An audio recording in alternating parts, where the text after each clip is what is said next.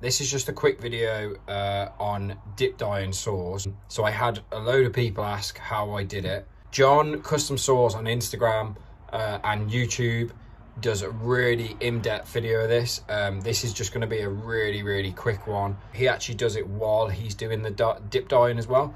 Um, so you can see it um, sort of while he's doing it, which is really good. So the tools or the things you'll need, a pair of tongs, um, a brush and a scrubby brush, just something to clean the stuff down or just, just scrub them, uh, get all the excess off. A sieve, um, this is for the small parts, the badge, um, the, the, the triggers, the choke, anything like that.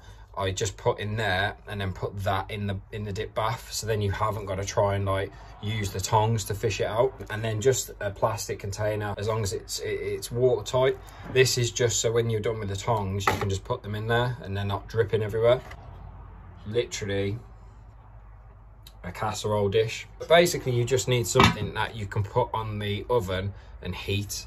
You also need a, two buckets. I actually use the sink um, and then I use the washing up bowl. You basically need somewhere that you can put loads of hot soapy water, which I use the sink for. And then you need uh, somewhere you can fill with really cold water. So after it's come out the dip bath, you put it in cold water. Um, and that's what the bucket would be for, or in my case, the washing up bowl as I say, what I what I put in there, I'll put the disc the, the a photo in the description of where I got it from. So in the dip bath itself, it is uh, acetone, which is basically nail varnish remover. So I just bought a a pot um, of nail varnish remover, which I got from like Boots, I think, or, or Superdrug, somewhere like that. You need two Rit dyes. So a synthetic graphite, then the all-purpose black. I have done it with just the black and it does work okay, but if you use both, um, you get more dye for one, um, and it just kind of has that has this really cool, almost like shiny gunmetal sort of effect. Salt and vinegar. Um, and basically you just put enough in in so like enough in here to to actually like submerge the parts you want to dye then add all the ingredients in at once and then just boil it. Just get it really really hot. You basically want to fill so say bucket number one is your hot one bucket number two is your cold. So fill number one with hot soapy water and soap actually. That's what else you put in there. So I just used uh, washing up liquid, put that in the actual dye bath. Um, so you have a soapy one with really hot water. So put all your plastics in there, get it super hot, make sure they're really, really warm. Um, get make sure they're obviously all clean, no bits and, of dirt and grime, and then put it straight in the dye bath. And then basically what you do is leave it in there for four minutes, um, around about four minutes anyway. If you leave it longer, it just won't soak up um, anymore. It will literally just soak up the, the amount it can and that's it. So if you leave it for half an hour, it doesn't matter. So four minutes in there, take it straight out. If you can sort of like just um, uh, drip it a little bit to get the excess off.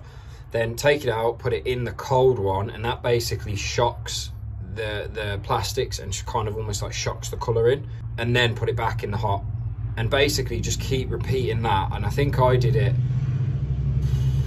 four times I think um, with the last saw I just dyed um, I think that's what I did on my 500 as well and it just come out came out really nice and you'll see every time you do it it just gets darker and darker obviously don't worry if you get the soap from the hot one in the dye bath because there is um, soap in the dye bath anyway if you do it I do it on the cooker with the sink put a sheet down because it, it can get really messy.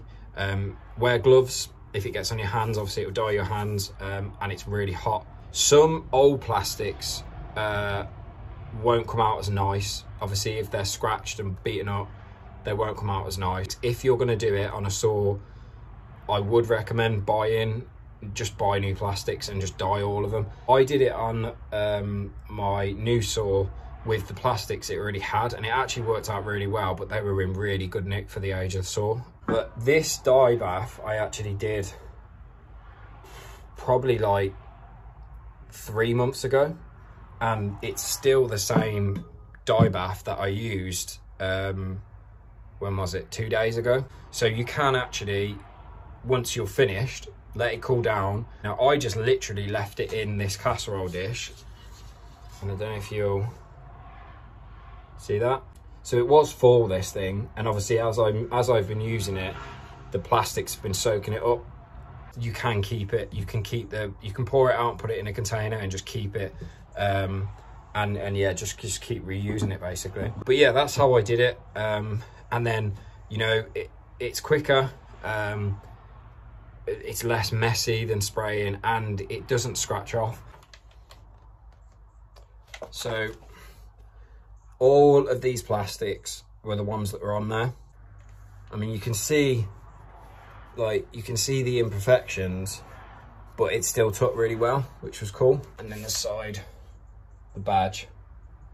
But like I say, you can't, you can't, it won't come off. It's literally soaked into there. So every time you dip it, it soaks more. You can actually see it. If you, if you put half in, half of a plastic, you can actually see it like a paper towel soaking up, even where it's not in the dye bath, you can see it soaking up the dye and it literally just soaks and absorbs the dye. You can kind of see, I don't know if you'll see on the camera, see where the ham, the, the brake thing is? That's still there. And see where the choke is? You can still see that. So it just gives it a really, really nice finish. You can do other colours. Um, I tried a green, but if you mix it with the all-purpose black, then it kind of just goes black and then you get a hint of the other color see trying to dye orange pink or another color other than black might be um might be difficult. But yeah hope that uh comes in handy. Uh, like i say john uh, custom saws on instagram and youtube has a really good uh, video. It's the one i watched and followed um but this is just more of a quick short video. Um but yeah hope that helps